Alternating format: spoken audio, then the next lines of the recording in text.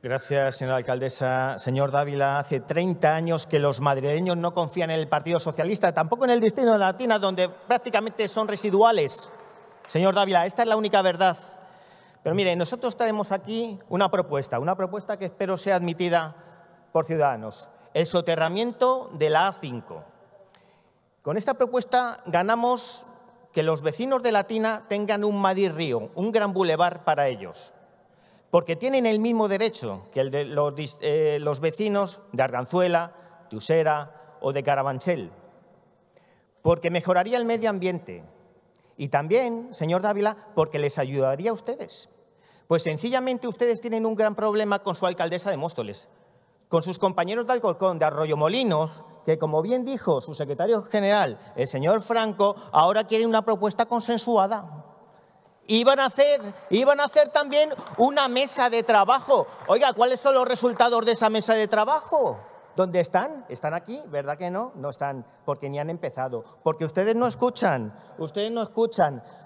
Y también tenemos el antídoto contra la mentira, contra la mentira de Ahora Madrid.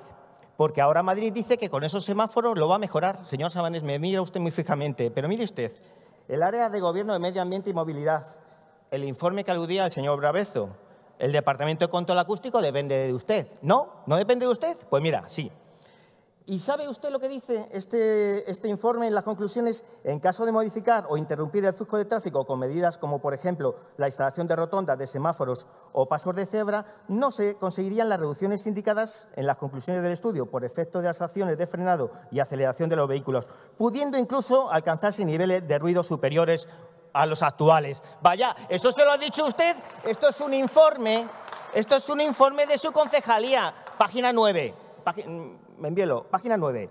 Mire usted, este es un informe de su concejalía, pero podríamos decir, ¿qué dice calle 30? Pues calle 30 dice que el impacto negativo sería importantísimo reduciendo además la seguridad en el interior del túnel al empeorar las condiciones existentes, aumentando el riesgo de incidentes y aumentar las consecuencias de los mismos por el simple hecho de haber más vehículos y personas en el entorno del punto donde se puede producir una incidencia.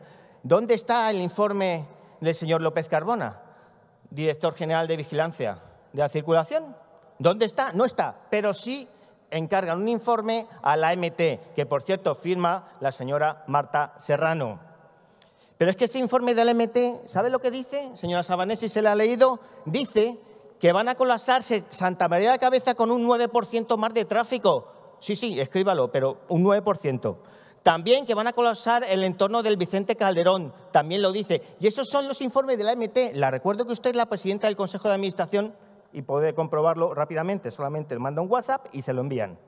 Eso es lo que dicen. Y nosotros ante esto tenemos el antídoto. Y el antídoto es bueno para todos, porque va a mejorar el medio ambiente, porque va a mejorar la vida de todos esos ciudadanos del distrito de Latina. Eso es lo que va a mejorar y es el soterramiento de la A5 Señor para todos los está habitantes de plazo. y ciudadanos del distrito está de fuera Latina. De tiempo. Muchas gracias.